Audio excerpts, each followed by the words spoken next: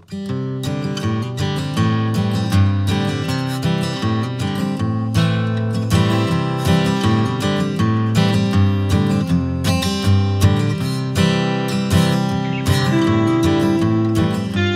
I'm Mike Edwards. I'm a mission co-chair of the North Naples Church Mission Board.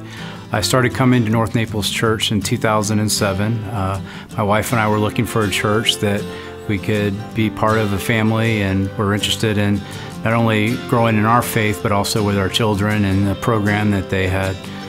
Uh, Mission Week is uh, February 24th to March 3rd, and it's an opportunity to learn more about missions as a whole. Um, it's a way that you can learn how to get involved in missions, um, how missions are working within North Naples Church, um, locally as well as internationally.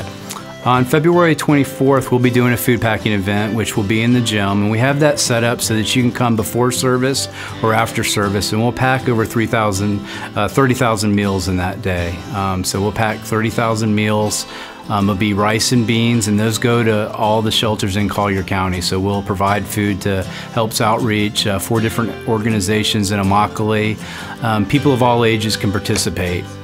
Uh, we came up with a new concept this year, uh, February 26, uh, Desserts Out of This World. We wanted to try to bring different cultures together and bring people together of the church that have various cultural backgrounds, or even if it's somewhere you've traveled and you liked a particular dessert somewhere, you know, encourage you to bring that so that we have a variety of desserts that we can share with coffee and tea. And the idea is to kind of update everybody on what's going on with missions, uh, what some of the opportunities are in the coming year, um, and also an opportunity for you to ask questions. Uh, during Mission Week, a good thing to look at is the Serve Guide because this has not only things that you can do in terms of missions, but also what you can do to get involved in the church. Um, uh, what I try to encourage people to do is do Faith Works. It's the first Saturday, uh, second Saturday of every month. Uh, so that's an opportunity where you can come and meet people of the congregation, ask questions, um, and then you can work locally to get started. Um, and then from there, it's just about you reaching out in your faith and prayerfully thinking about how you can get involved in missions.